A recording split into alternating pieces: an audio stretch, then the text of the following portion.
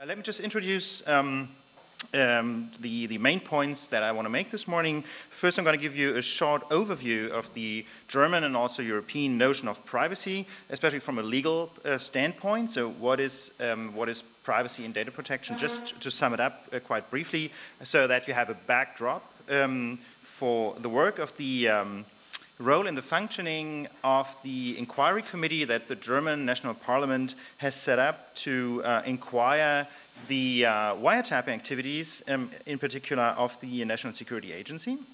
And thirdly, I'd like to introduce you into the effects on the public debate. So, how is um, especially NSA, but also the, the, spying of German agencies perceived in the public debate back in Germany? So, first of all, privacy in Germany. Interestingly, the debate about um, the profiling powers of information technology uh, came up in the United States. Today, maybe um, Germany or Europe is perceived as the stronghold of privacy um, in the world, but that hasn't always been the case. Just like information technology was mainly developed in the Silicon Valley, as we all know, um, su such has um, the debate about the, um, the dangers associated with the use of information technology, especially for the free um, expression of one's ideas. That was back in the 1960s, and these, um, these, these ideas were, of course, um, received uh, on the other side of the Atlantic and discussed a lot in Germany. And the main approach was first to look at dangers of, uh, of data, dangers of information technology, but not like to regulate how data was to be handled. It was just about how can data be abused. That was the case in Germany as well until the early 1980s, when in 1983 the federal government started a project um, to um, uh, to assess the whole population of, the, uh, of, uh, of Germany, so a census. And many, many activists opposed the idea that everybody be counted.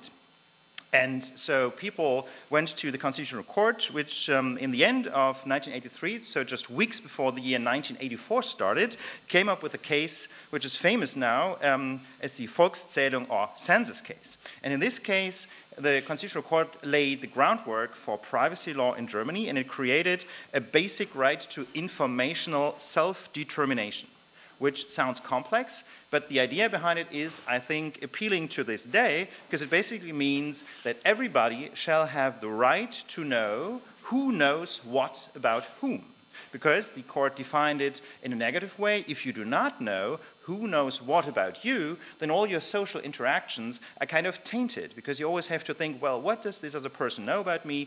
Um, what kind of profile might this person have already created?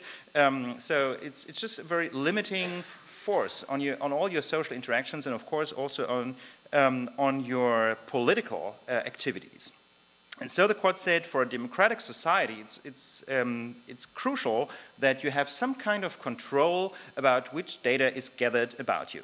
And so um, it, the court uh, thought of um, two basic means, to, or one, one, one principle um, that should safeguard this informational self determination, and that is that every treatment of information, be it gathering information in the first place or treating it, for example, uh, referring it to somebody else or combining it with other um, information pieces, all that needs some kind of authorization. And this authorization can be twofold. Either the data subject, so the person concerned, has to consent with this kind of gathering or treatment of data, or there needs to be some kind of statutory authorization, basically some kind of law that says, well, you as a private company or you, you as a government agency can do such and such um, ways of treating data. So this was kind of a basic right, and it applies both to government bodies directly and um, also to private parties. There are like particularities in, but uh, I don't want to bore you with that. So basically, government bodies and private parties alike are bound by this basic right. They need either consent or a statutory authorization to handle personal data. Of course, all that is a very nice principle that may have been um, realistic in the early 1980s, but that already was threatened by what happens on the internet. Um, I'm, um, I'm, hearing that you have been talking extensively about those problems yesterday, uh, because of course when um, internet companies are gathering a lot of data, um, then you don't necessarily have control what happens with your personal information.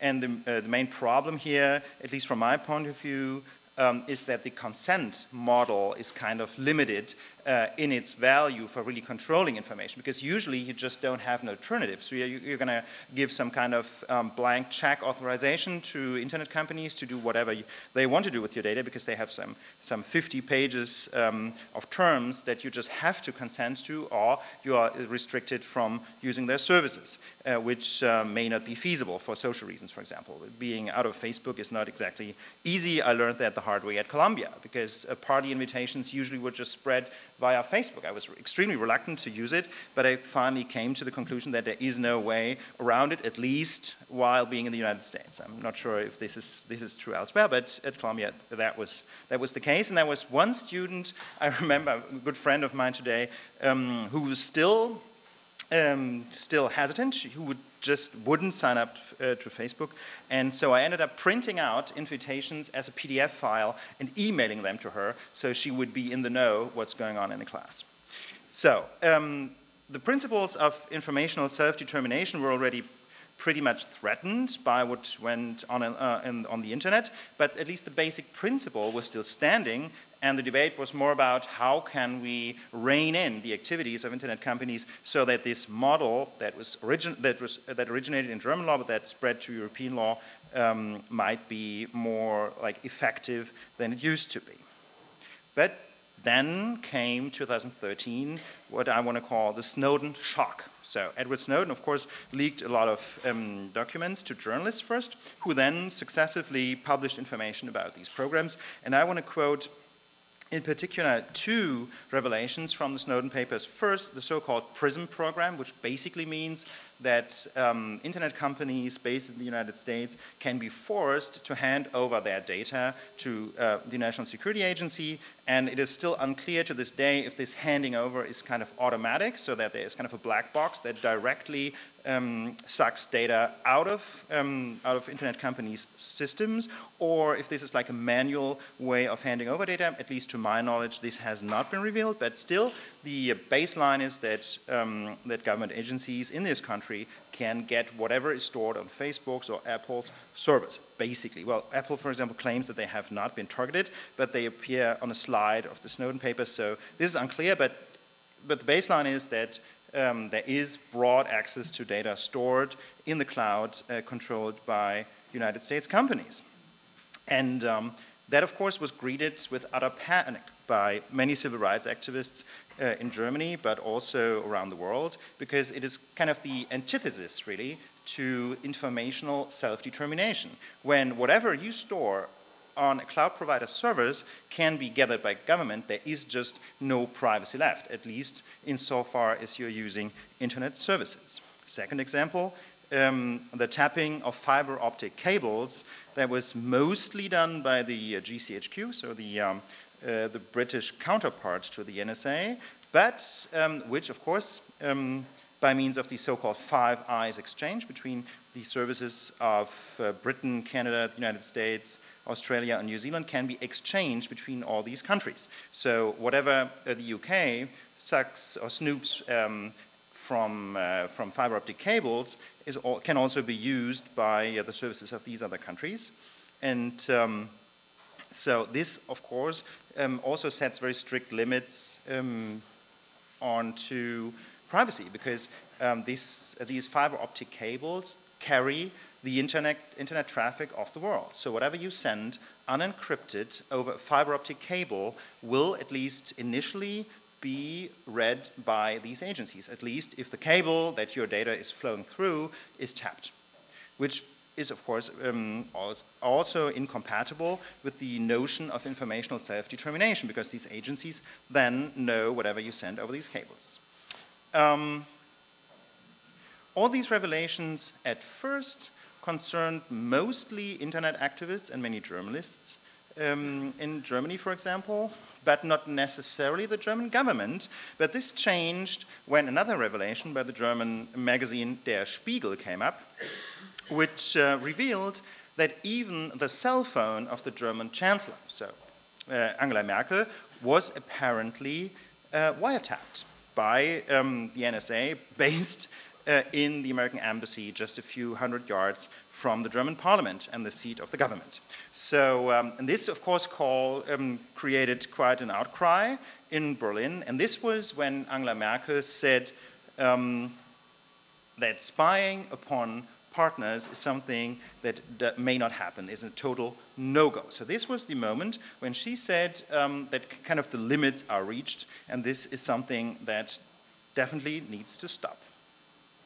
So at this point, also, the German parliament tried to, um, to shed a light on what's actually happening, because up to this point, it was only just Snowden revelations, so selected slides from the vast trove of Snowden documents um, that, um, that got known to the public, and so nobody really knew what was going on. It was just like um, just a little bit of evidence, a little bit of light shed onto um, certain NSA programs and also programs that were executed by the GCHQ and apparently also in cooperation with German agencies, but nobody really had the big picture. And so the German parliament decided in March 2014 to set up an inquiry committee, which is today nicknamed the NSA Inquiry Committee, to really get to know, first of all, um, of course, to which extent do Five Eyes agencies gather communications inside of, originating in, or directed at Germany, but also what did German authorities know about this,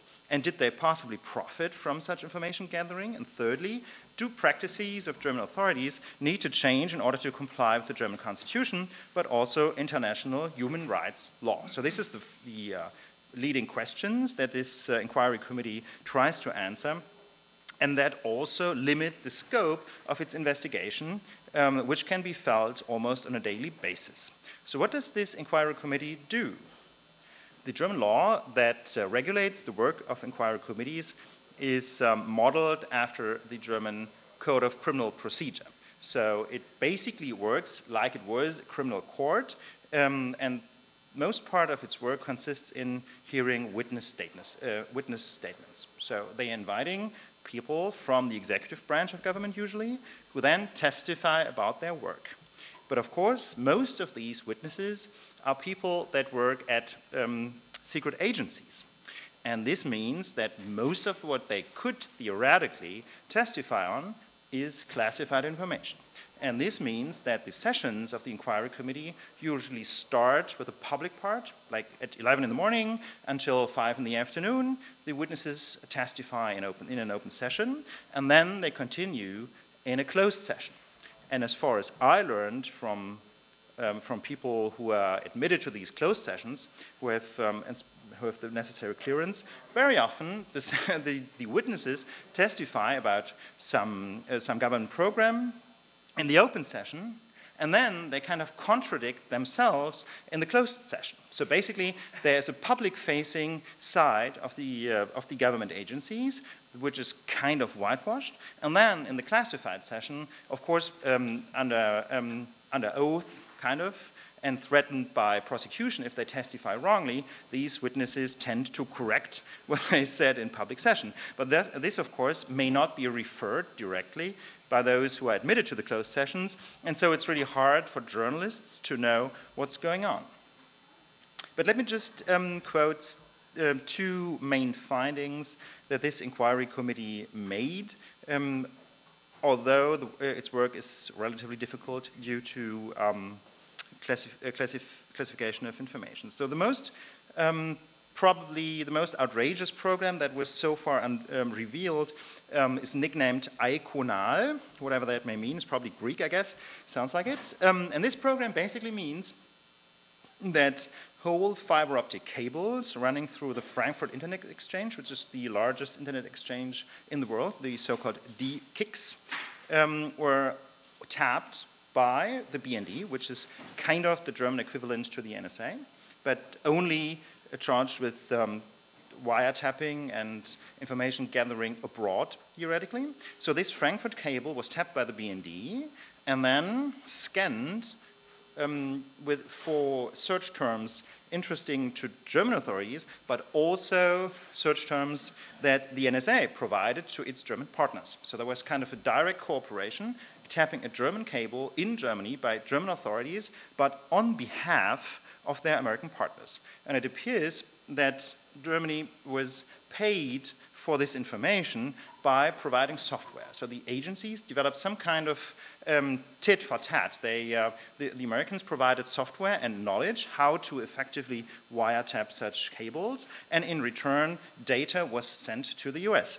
And in open sessions, the witnesses testified that, of course, um, no data pertaining to German nationals was transferred to the United States in this EIKONAL program. But in the closed sessions, it appears at least, such as it has been reported in the press, uh, it was made clear that these automatic filters are not as effective as they should be or would need to be in order to really make sure that no data pertaining to German nationals is transferred, which means that the German authorities knowingly um, sent data to the United States that they would never have um, been able to, or at least legally would have been able to, which of course is kind of outrageous and um, spoke a lot of public debate about the legality of such programs. So the baseline of it is, even if this inquiry committee is nicknamed the NSA Inquiry Committee, um, the, the, maybe even more problematic findings um, concern the German authorities, because of course the German parliament can't directly change the behavior of what uh, American government agencies do, but at least it can and in my personal view, it should also make sure that German agencies follow German law and especially the German constitution, which, um, at least as far as we know so far, has not necessarily been the case. So, um, let me come to my third small part, which concerns civil society's reactions to what the inquiry committee has so far revealed. Um, first of all, the press in the beginning, there has been relatively broad coverage of the Snowden revelations. Even the very first program that came to light, which was the um, Verizon wiretapping program, well, not directly wiretapping, but metadata trans transfer program, so that every Verizon phone call was directly transferred to the NSA, was covered extensively in Germany as an example um, for a so far unknown surveillance program. But of course, um, in the more than two years since the first Snowden revelations, um, something that I'd like to, to call the NSA fatigue um, has struck uh, German press. So every detail that comes to light is now reported because it's just not such, uh, it's not necessarily so new, you know? The press usually uh, jumps on things that are really, really new and um, there, have, there, are so many surveillance programs that, um, that we have learned about uh, that it's not necessarily interesting to the press anymore, but particularly outrageous findings like the EIKONAL program are still being uh, reported and commented on pretty extensively. So how about the general public? I find it relatively hard to assess what people in general think about these surveillance programs. Um, but my suspicion is that the interest in the general public is quite limited. Um, I think there is some kind of resignation that's taking place, just because um, at first it's mostly American authorities um, that you can't control at all, to be honest, if you're a German citizen. And even the German authorities try to hide their activities from parliament, as I explained, you know, the difference between the open sessions and the closed shops. Um, so it's just extremely hard already for a member of parliament to change anything about it. And uh, it's, of course, even more difficult for a simple citizen and um, if you take the last elections in Germany in the fall of 2013, so just, just a couple of months after the first Snowden revelations, then um, they ended in an almost, almost um, absolute majority for the Conservative Party that had already declared the Snowden scandal over right before the elections. And if the party that says Snowden relations are over and Snowden scandal, we are done with it, um, almost completely wins the elections, and I think this is kind of telling about the importance that the general public in Germany accords to this issue. Um, but of course, there are people in society who, think, who see things completely differently, um, especially internet activists, of course, the data privacy activists. Um, and the main thinking in these um, in these circles is, at least to my knowledge and to my understanding, that politicians have just utterly failed to create sufficient safeguards for privacy and to rein in uh, surveillance agencies. And for this very reason, um, we now need technical solutions. And this is what internet activists su suggest doing. So, uh, for example, I don't know if you have heard about it, but the um, American NGO, the Electronic Frontier Foundation, EFF in San Francisco, just launched a program that, um, that seeks to um, assure that every traffic on the internet be encrypted. So they created an, um, kind of an agency that, uh, that gives out HTTPS certificates to everybody, so it now gets free to add uh, strong encryption to your web server, and there is no more pretext now not to use strong encryption, so that every HTTP traffic, so web traffic, shall be encrypted. In general, internet activists um, advocate the use of strong cryptography, not only on the web, but also for sending emails. PGP or GPG is the best known standard for email encryption, which is now relatively straightforward to use. And of course, there's a system called Tor, the onion router, which basically means that you can use the internet um, in an anonymous way, because if you pay attention at least, your data uh, that you want to transfer, transfer over the internet is sent over uh, several steps so, so as to um, to cover up who is the original sender of that traffic. So this is a uh, this is a suit, so to say, of uh, encryption and other technical solutions to the surveillance problem. But as a legal scientist, I still have to ask, is this really the last answer? I mean, in a democratic society, shouldn't we come up with some kind of plausible regulation? Shouldn't we, um, shouldn't we just refrain from giving up too early and shouldn't we just discuss what is the right balance between surveillance that we might need, for example, for national security reasons, and the privacy that was up, upheld so highly in the early 80s and that has uh, been on the decline ever since. I think this is really an interesting question that democracy should answer and not only technologists. Thanks so much, and I'm looking forward to the debate.